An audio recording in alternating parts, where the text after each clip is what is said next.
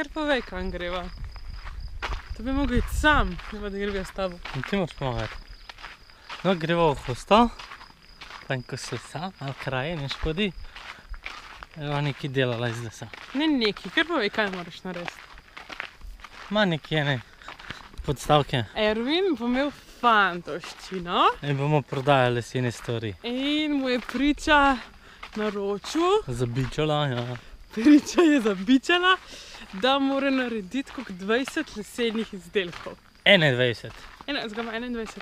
21. Kaj? 21. A je 21, zelo jih je tudi 15 Lahko ali pa tudi 35. 100, ja. Aha. Več Zdaj moram jaz kaj enostavnega narediti, da bomo prodajali. Če bi pa kdo rad, pa lahko tudi prej kupil. ne. Da bi noter treba prodajati. Tako. In zdaj gremo v hosto poiskat primeren les, ker živiva zdraven hoste. Ops. Sva šla pa pač seveda ob enih, ki največ sonce, da ki se najlažje najde. To pa res ne smeva. A to je glih prav. Dej, to, ta veliko. To, a? Ja. Ne, to ne smeva. No, primela, no. Neko kako gre to pas. Kaj boš? Ne, to ne smeva. To je od nekoga. Mi ga moramo v, v gozdu vzeti.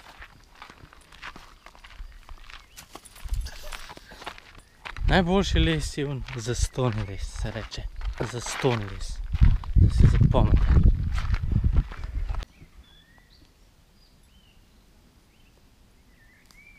Bo to dost? Bova še malo iskala naprej. To ni nikogar še. To ono se najde, ono se najde to tle.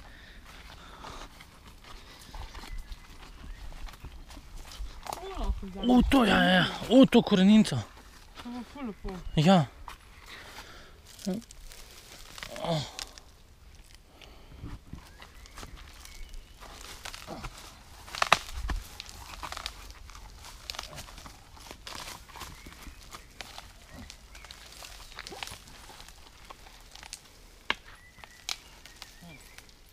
Še dobiš, ne?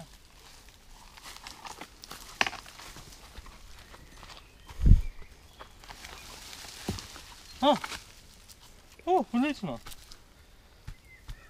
Po redu? Pa bo. A greva še malo? A to tle se pa ti pustiva. Klej, jo naštimi, jaz se ne bo noben vzel. Pa veš? A greva naprej? No, grem še malo.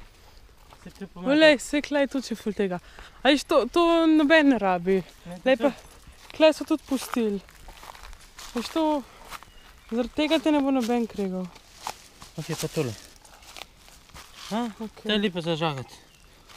Tam ni pa to nek eksotičen les. Še klej, kaj rabiš? Ne. Ne greva predaleč. Ha, a nimaš dosti v njih? Dobro je, no. Ja, koliko boš pa ti nesel? Ja, velik. Nakupujemo material.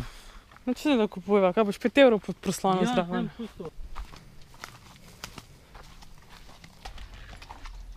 pusto. Tja nekam na sredo, daj. Oh, oh, oh, okay. A, hvala, da bo